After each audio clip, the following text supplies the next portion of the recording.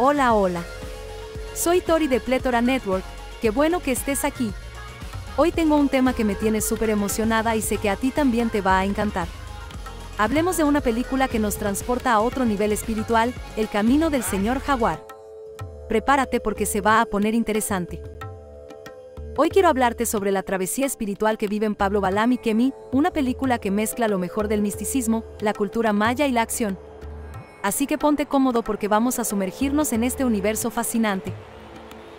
Es un tema que realmente vale la pena conocer porque nos lleva a explorar cómo las profecías antiguas y la espiritualidad pueden conectarse con nuestras vidas hoy en día. En el camino del Señor Jaguar, Pablo y Kemi tienen la misión de restaurar un camino sagrado, todo basado en una profecía maya que predice el destino de la humanidad. La verdad, es un tema que puede cambiar nuestra perspectiva sobre la espiritualidad y la cultura ancestral.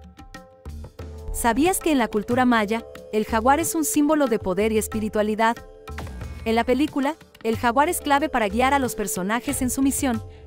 Eso me parece súper interesante.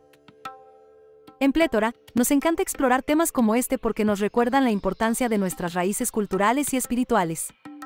Además, estas historias nos conectan con la rica herencia de América Latina, algo que valoramos muchísimo en nuestra comunidad. Si te quedaste con ganas de saber más o tienes alguna pregunta sobre el camino del señor Jaguar, no dudes en seguirnos para más contenido. Hay mucho más por descubrir en Pletora Network y me encantaría que siguieras explorando junto a nosotros. Nos escuchamos en el próximo episodio. Cuídate mucho y hasta la próxima. Recuerda que si quieres leer más sobre esta increíble película, puedes visitar nuestro sitio web pletnet.io para descubrir más detalles. No te lo pierdas.